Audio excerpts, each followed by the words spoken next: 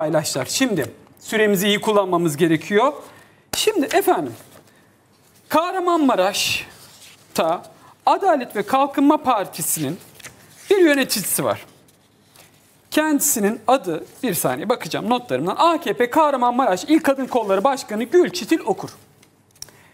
Kendisi neler neler söylemiş bir televizyon kanalında. Bizim bütün bildiğimiz her şeyin aslında doğru olmadığını, dünyanın ne kadar büyük kriz yaşadığını anlatmış, bizi bilgilendirmiş. Önce onu izleyelim, sonra bakın Halk TV açıkça özel neler oldu. Birebir yurt dışında yaşayan aile ilişki, aile üyeleri var, fertleri var. Ee, Biri İngiltere'de ve iki tane ürünü aynı anda alamadığını söylüyor. Maddi gücü iyi, işletmesi olan birisi markete gidiyor, iki tane kalem alacak, iki tane bardak alacak, ne bileyim iki tane ıslak mendil alacak. Biz aynı anda iki ürün alamıyoruz çünkü satışı yok dediler. Başka bir tanesi Amerika'da yaşayan bir e, akrabası bizim saatimizde sabah 6.30'da yakıt kuyruğuna girdiğini, öğleden sonra 1.30 olduğu halde hiçbir kımıldama olmadığını ve hala beklemede olduğunu söylüyor. Yani bizim ülkemizde bunun gibi krizler yok. Biz markete gidiyoruz, sepet istediğimiz kadar dolduruyoruz, alıyoruz. Bir yasağımız yok, bir engelimiz yok.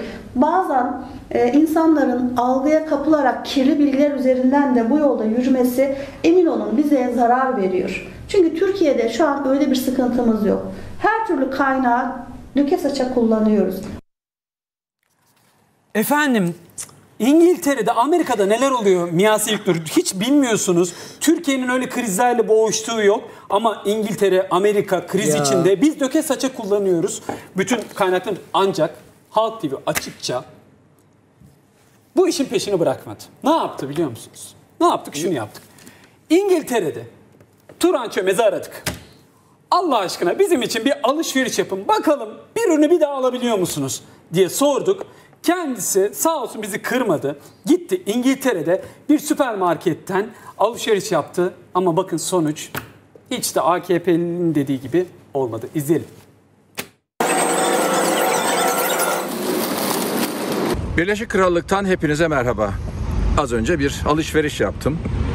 Az da süpermarkete gittim ve alışveriş arabamı sonuna kadar doldurdum.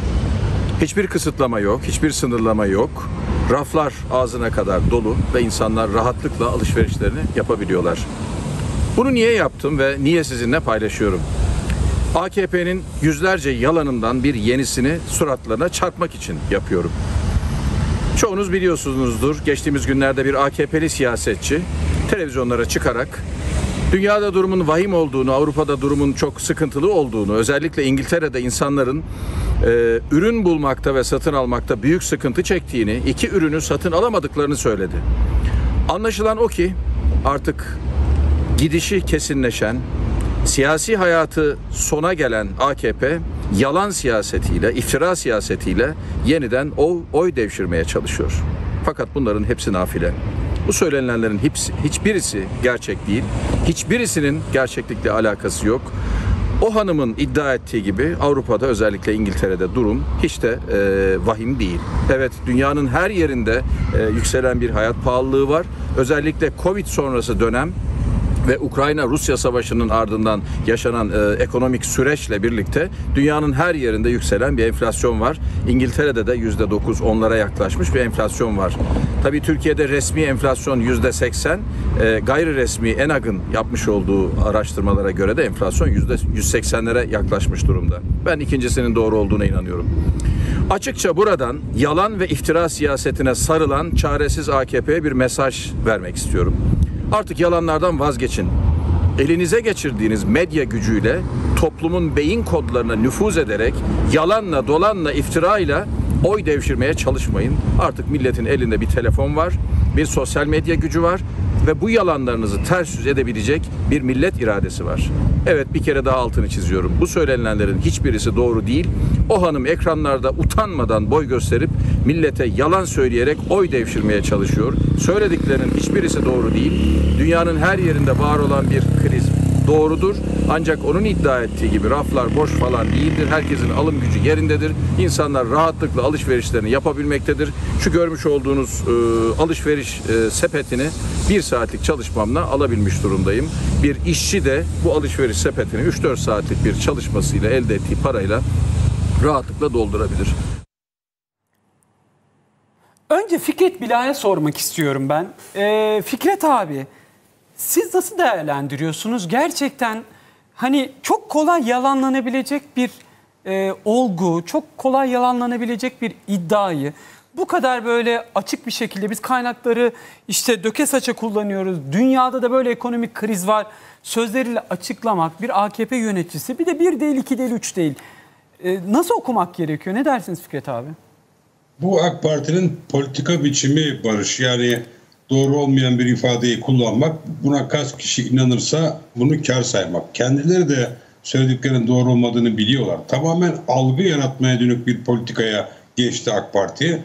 Gerçeklerden kopuk e, ancak hayal ettiği koşulları gerçekmiş gibi sunan ve bunu da halkı inandırmaya çalışan bir politikaya geçti bir algı politikası. İşte post-truth denilen gerçek dışı, gerçek ötesi bir söylemle propaganda yaparak tabanını konsolide etmek, bir arada tutmaya çalışıyor. Ancak halk gerçeği yaşadığı için bunun bir inandırıcılığı yok. İşte e, Turan Bey de kısa bir süre içerisinde e, İngiltere için söylenenlerin doğru olmadığını kanıtladı. Bunu daha önce de yapmışız Sayın Çömez. Türkiye'de bunu yapmak mümkün. Sayın Başarı da gayet kolay bir şekilde yapıyor. Yani bu boş bir uğraş kendi inandıkları bir e, hayal var. Doğru olmadığını biliyorlar ama halk buna inanır mı? Kaç kişi inanırsa bizim için o kadar kardır diye bunu denemeye devam ediyorlar. E, ilk bölümlerde anlattım yani ekonomi iyi, Türk modeline herkes hayran, bize soruyorlar falan gibi bir propaganda yapıyor. Öyle bir şey yok. Dünya bize gülüyor yani. Gülüyorlar. Yani enflasyonun resmi olarak yüzde seksen olduğunu ilan ettiğiniz bir ülkede faizi yüzde on düşürüyorsunuz. Yani ekonomi biliminde böyle bir şey yok. Bundan halk yararına olumlu bir sonuç çıkması mümkün değil. Bunun çıkaracağı sonuç doların fırlaması, ona bağlı olarak da enflasyonun fırlaması, hayat pahalılığının 4-5 kat artmasıdır. Artık bu gerçeği halk yaşıyor. Nasıl yaşıyor? Alıştığı gıdaları yemeyerek, standartını düşürerek, arabasını kullanmayarak, dolmuşa binmeyerek, yürüyerek, sağa sola borçlanarak, geniş ailesinden yardım alarak e, hayatını devam ettirmeye çalışıyor. Bu gerçeği yaşayan bir insana çıkıp da bizde her şey var, her şeyi alıyoruz, bol bol sepeti dolduruyoruz, İngiltere, Almanya felaket derseniz bunun gerçek olmadığını ortaya çıkartmak birkaç e, dakikada dakikadan fazla almaz yani.